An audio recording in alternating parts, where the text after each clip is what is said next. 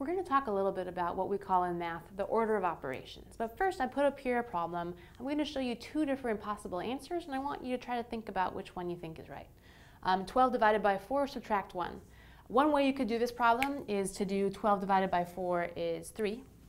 So 3 subtract 1. So I think one possible answer would be 2. Well, what if you did it a different way? What if instead of doing 12 divided by 4 and then subtract 1, what if you did the 4 subtract 1 bit first?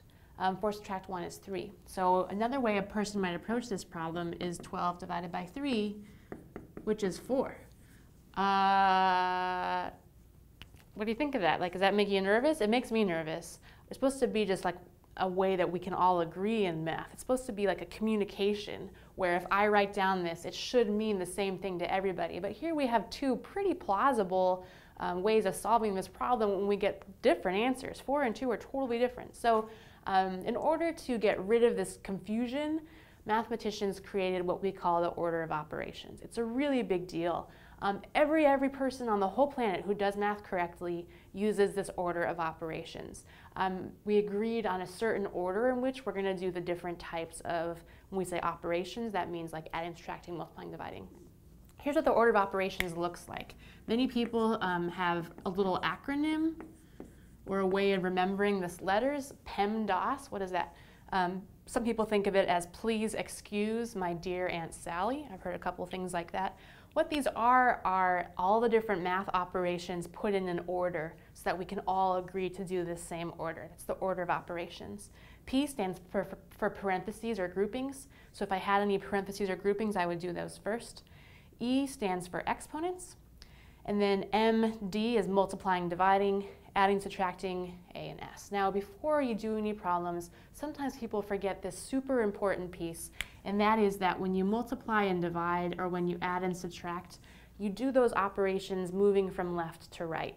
And that's a key idea, and that's a place where students sometimes make mistakes, is when you get to this multiplying and dividing, it's really a step within itself. You might do some dividings first, I'll say that again because it's weird. You might, and I didn't, I didn't mess that up. You might do some dividings first. You do whatever multiplying and dividings happen as you move from left to right.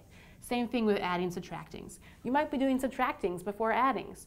Um, you would do that if you're moving from left to right. That's the key idea. So again, order of operations is the way we've agreed to solve or simplify expressions like this. We do groupings, parentheses first, exponents, then moving from left to right, we do any dividings or multiplyings moving from left to right, we do any adding, subtractings.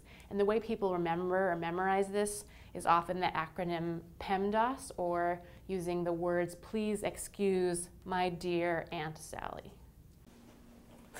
And by two. I can't do this with you two laughing back there. Work it, work it. So if we had, no, that's not right, three coplanar points. So have you ever gotten off an airplane? That should be. Less than. Yeah. Dang. Is it like 500 degrees in here or what? All right, so when you're in chemistry class, you're going to be doing a lot of work. You're going to be starting over. So as an example, we could consider like you've got a chain hanging from two um, two fix.